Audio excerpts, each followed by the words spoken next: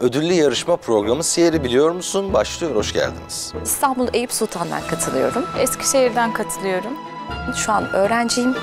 Eczacıyım. Servetini Müslümanlar için harcayan Hazreti Ebu Bekir'le ilgili olarak hangisi söylenebilir?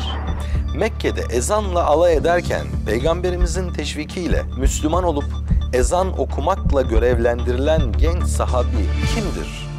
Bir sonraki bölümde yarışmacımız olmak isterseniz Diyanet TV web sayfasına girerek ilgili formu doldurunuz. Bekliyoruz. Siyeri biliyor musun? Hafta sonu 21.45'te Diyanet TV'de.